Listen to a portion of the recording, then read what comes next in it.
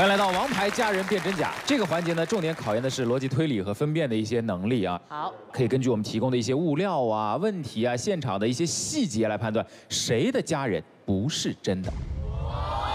哦，来，我们首先有请出第一位，欢迎他。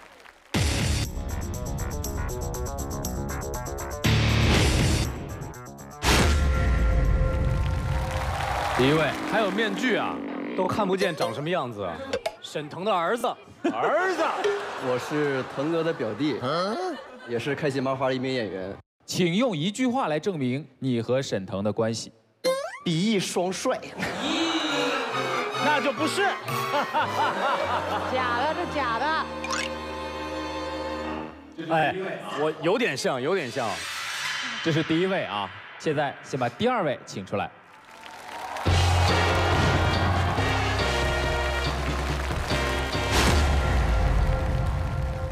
贾玲的表妹，这应该是真的，我觉得很像哎，一进来那个表情、笑容，还有那个梨窝那个感觉。这这这真的真的。你要是这样的话，我就看表弟的褶子了。你看他们俩，他手牵手，这个感情骗不了人的。同样用一句话来证明你和贾玲的关系。他最喜欢的就是，就是爸爸妈妈还有我。我记得贾玲有个姐姐，对吧？不知道。什么？不知道。已经有两位了哈，接下来请第三位。哎呦，那么多人啊。这个我这个都不用猜，这个根本就不用猜，这绝对是真的。干什么呢？你们 假不假？怎么请你们俩来？这样这样这样，我们撑也要撑住，用一句话来证明你们和娜娜的关系。呃，我跟她睡过一张床，我跟她一起洗过澡。我觉得他们俩是来拆台的。他们俩说这个，我们一点都不觉得惊讶。还有第四位啊，我们有请他来。啊？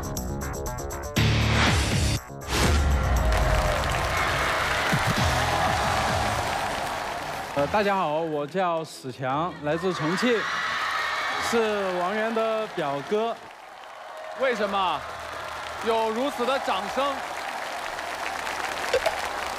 我不认识他，不认识，不认识，不认识。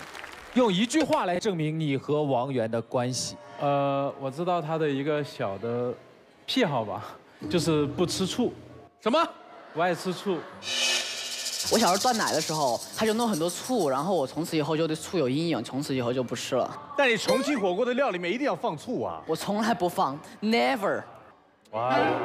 接下来首先进入第一轮的这个验证，题板答题，我会帮我们的跑男队问一个问题，两位同时作答，看给出的这个答案是否一致，好不好？第一题我要问的是沈腾和表弟啊，请问沈腾。最害怕的是什么？不许看对方题板，请写下答案。沈腾最害怕的是什么？动脉硬化。都写好了，三、二、一，亮题板。表弟写的是虫子，老鼠。先问一下表弟，为什么是虫子？腾哥曾经录节目的时候，看见了一只虫子。蹦起了三米多高，三米多高，我估计是跳楼，你知道吧？跳下去三米多高。但我发现一个小细节，提供给你们参考：表弟叫表哥叫腾哥，反正我表弟从来都是叫我胖子，我表弟从来就叫我帅哥，我也是。那肯定是个假表弟。接下来贾玲和姐姐，哎呀，是不是？共同要面对的问题，题板题哈，贾玲。谈过多少男朋友？请写答案。哦，请亮题板。姐姐的答案是两个八。贾玲的真不 N 个，你这太美化你自己了，我觉得。那我问你，贾玲最爱吃什么？他喜欢吃鸡，呃，排骨炖藕，酸菜棒骨，溜肥肠，啊，山药片儿。行了，已经是真的了。行了，行了，行了，行了。你就说贾玲爱吃一切，就简单概括就是所有食物。这我觉得他们那边很真实了。好，了解完毕啊，贾玲。接下来娜娜，请听题板题啊。这边我们就不用再问了吧，这边不用问了，真的。请问，两位姐姐和妹妹哈，娜娜送给你们的最珍贵的礼物，你认为是什么？请写答案。圣诞礼物卡片，什么什么十八岁生日的卡片，都不一样，看假姐妹吧。娜娜写的是手链和娃娃。那个我有我有带来。啊，也太丢脸了吧！圣诞礼物是因为就是我去年的时候，然后就是因为妈妈跟爸爸可能觉得我长大了，所以妈妈就没有准备礼物给我，所以姐姐就还是准备了娃娃送给我。贴心哦。但是这卡片跟手链就对不上了。手链是他认为最珍贵，可是我认为最珍贵的是卡片。什么卡片啊？我我有带来。有带来啊？就是因为那时候，呃，娜娜还没有开始工作，没有办法买礼物给我，所以就送了一张空头支票，然后还贴了很多美金在上面给我。这个太真实了。当年是空头支票没关系，现在让娜娜帮你填上。不是不是不算是。还有小袁这边一个问题啊，请问王源最害怕什么？请写答案。最害怕什么？吃醋。请亮题板。高啊，怕高，怕我。为什么怕你？因为你们知道，小孩子就男孩子小的时候吧，经常会打闹。对他打不过我。哦。对。你曾经把小袁放在地上摩擦。也没有这么狠啊。对。经过这轮的问答之后，我们跑男团的各位成员啊，可以选择其中的两组摘掉面具。我觉得。右边这两组不用摘了，都你知道了。对，请左边两组摘掉面具，让我们看一下。哦，来确定一下表弟跟表哥像不像？哇，帅帅哥登场！帅哥登场！哇，帅哥登场！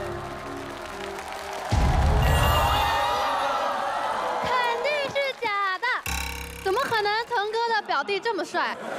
等一下，我一直怕被发现。等一下，你看表弟，表弟笑还有褶子，表弟有褶子，你看才多大呀？哎，其实哎，郑恺有点像，有点像，有点像。我问一下表弟，我问一下表弟，开心麻花办了多少年了？呃，我哪知道？好几年了。好几年了啊！对，这个表弟有点儿，有点儿草率了。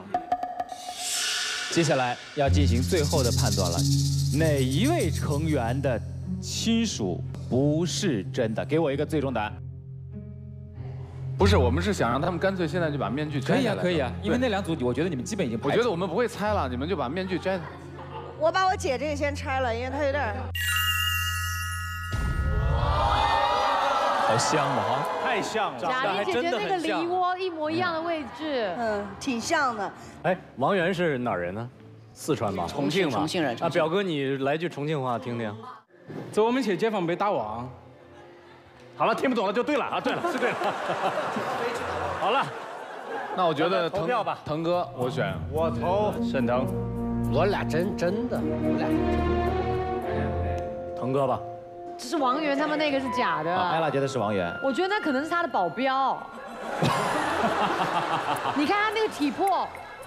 所以最终的答案是沈腾是假的。那这样，我们先把后两组验证一下，因为每个人都有一块胸牌。后面两组三二一同时揭掉，看一下真实的身份是什么，好不好？来，真的不是我姐姐，真的不是我妹妹。一，请揭开。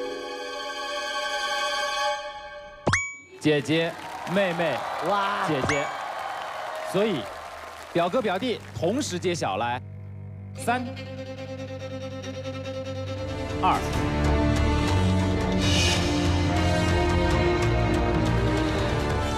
一。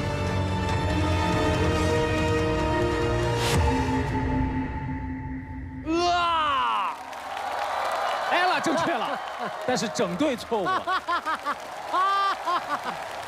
为什么不相信女生的直觉呢？他们他们仨就是认为，简单的认为我表弟太帅了，不可能是我表弟。小袁来介绍一下身边的这位，是我朋友，然后也是我身边工作人员。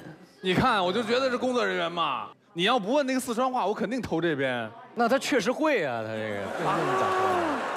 好，其他的都是我们的这个真实的亲属啊，因为好像娜娜那个三姐妹是大家最没有意义的，因为很多场合都见过啊。她们三姐妹之间还有一张照片啊，在网上也是很多人会去看、会去点的一个照片，我们来看看是什么样的。看一下，看一下。啊，小时候哭的是我，然后右边那是我姐学我哭，好可爱。哎呦，这是上面那是我，下面那是我妹。我满月的时候。啊。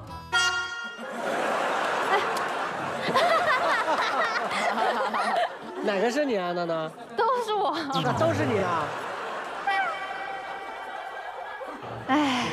因为之前是好像姐姐十八岁的时候，你是给她送礼物的。对。我特别想听听姐姐和弟弟会给娜娜准备一份什么样的十八岁的成人礼。我们有准备一张卡片送给她。有一张卡片，这么大呀？这是我剪的，要特强调一下。上面都写了什么呀？呃，我先念我的，然后姐姐的。亲爱的姐姐娜比，很开心有你这样的姐姐，谢谢你，永远都会体谅我的坏脾气，你是我学习的榜样。希望有一天我也可以像你一样拥有这么好的成绩，一有时间就要记得好好休息，我们一起加油，做最好的自己。我爱你，妹妹弟弟上。哇，换我了。亲爱的美眉娜娜，你真的是全世界最好的妹妹，是姐姐的骄傲。虽然你是我的妹妹，可是我总觉得你更像我的姐姐。你在乎身旁的大家，更超过了自己。遇到再多的事情，也都自己消化，武装得很好，很坚强。但是我们是最亲近的人，如果你累了、烦了、难过了，你也可以依靠我们。你还记得你给妈妈说过的一句话？你不用永远做我的妈妈，你可以做你自己。我把这句话也给你，你可以做你自己，在我心里，你永远是我最可爱的小蜡笔。哦，不要哭。啊，真的是人都要化掉了的一种感觉。你看看人家，你看看人家。再给你个拥抱。就是长大之后就会发现，就是有一个姐姐或有一个妹妹在你旁边陪着你，是一件很幸福的事情。你可能不愿意跟外人说什么，呃辛很辛苦的事情或者工作，呃很烦恼啊什么，但是很多事情你会跟姐姐妹妹说，因为其实对爸妈其实是报喜不报忧嘛。那对姐妹的话就是什么话都能说。对，什么话都能说，挺开心的啊。你刚才说到呃有一个姐姐或者妹妹真的会很好的时候，我看到贾玲和姐姐两个人彼此对望了一下。对，我也看到了。姐姐脸上微微那么一笑。没错。就那一瞬间啊，我跟你讲，刚才他们有一个细节，真正的那个血浓于水的那种感觉啊，就俩人一来的那个手，对，马上那个一瞬间我就知道是真的，就是那种感觉是根本就是说你说表演或者什么隐藏不住的。是。我怕你们发现我们俩长得像。我姐原来是主持人呢，是新闻主播。哦。贾玲原来聊到过，姐姐也考上大学，然后把机会让给了你，是有这么一段故事。对我家，我家那时候条件不是特别好，当时确实对于我们家来说只能负担一个孩子，但是那时候好像是我，我考上中戏的那一年，我姐考上呃现在的传媒大学。我妹老会提这一茬，其实这对我来说不算什么，真的不算什么。如果再给我一次机会的话，我觉得我会毫不犹豫的。事实证明你是对的。对，事实证明我是对的，真的。那姐姐有没有特别心疼妹妹什么地方？有，我妹特小的时候，就刚出道的时候，特牛的跟我说一句：“姐，我跟你说，我做喜剧是有使命的。”我我当时觉得特别可笑，你一个演小品的，你说相声的，你需要有什么使命？你不就是搞笑的吗？后来我才发现，使命感就意味着一种责任感，有责任感就意味着他要去承受别人承受不了的东西，要去付出别人付出不了的东西。无论他，呃，再多人嘲笑他、挖苦他，他都会都会一一往一往无前。但是，你也知道，姐姐心疼，家里人都心疼。傻子。事实其实没有那么浪漫。事实是我二十四岁毕业以后，我姐在老家给我找了一份收入非常不错的工作，逼着我回老家。没，我那时候我跟他说：“姐，你让我腾一年，一年我就红，好不好？”结果腾了三四年。我姐说：“我觉得那是你也没红啊。”那个是姐姐对妹妹的一种疼爱，她怕你在外面辛苦，然后如果有一个稳定的工作，她会觉得你的日子比较好过。接下来我们来问问腾哥的弟弟，腾哥在你在你眼中是一个怎么样的哥哥？好好说啊，其实就像就像一个严父。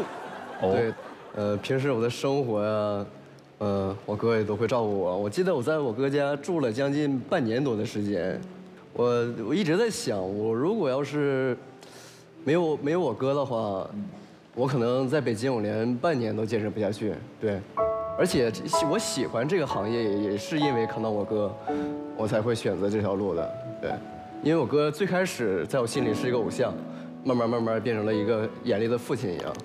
长兄如父。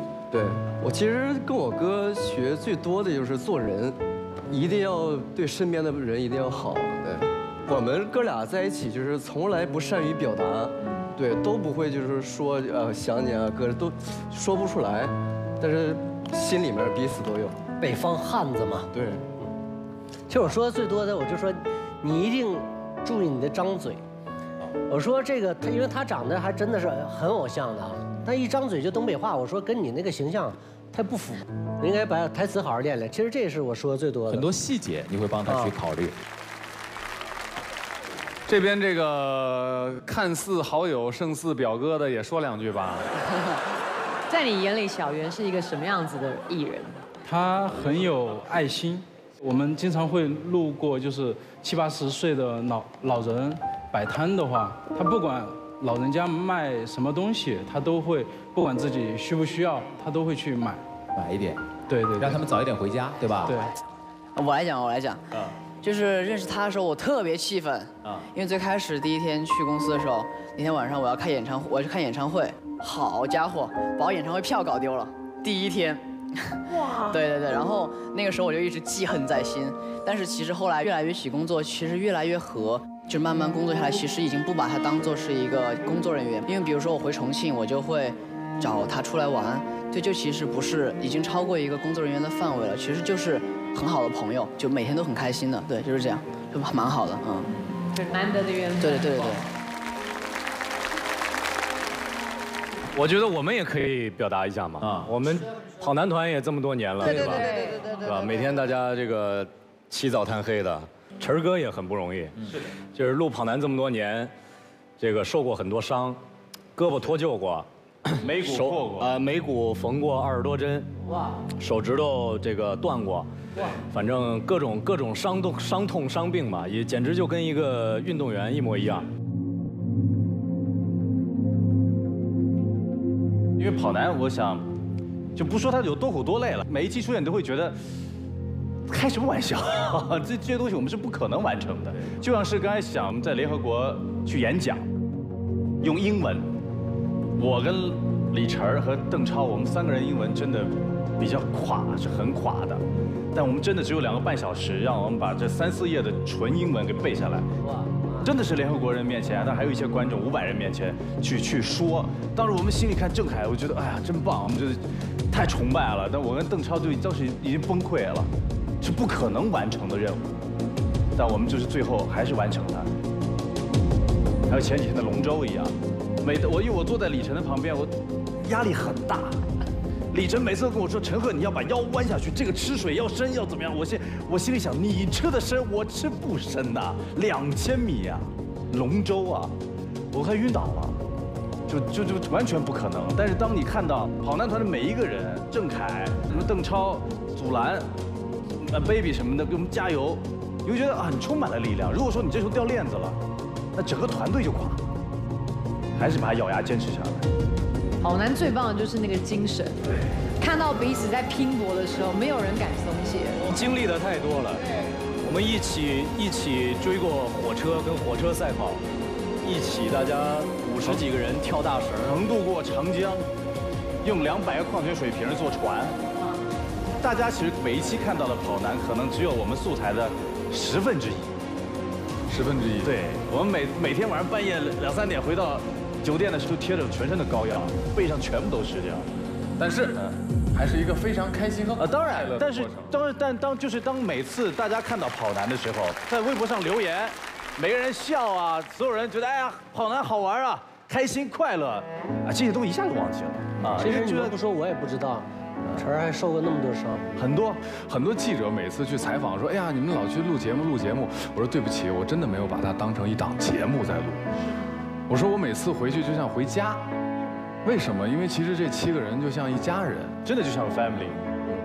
对于咱们这样的人来讲，每天天南海北到处走，但你能坚持一项工作做四年，我觉得也是真的蛮有值这个这个纪念意义的一件事情。谢谢跑男家族带给我们的快乐。他们是在一起四年，我们我们几个娜娜、贾玲、小圆儿，我们几个在一起三个月三个月，三个月我就觉得已经烦的不行不行的了。这就是一种特别好的氛围啊。是。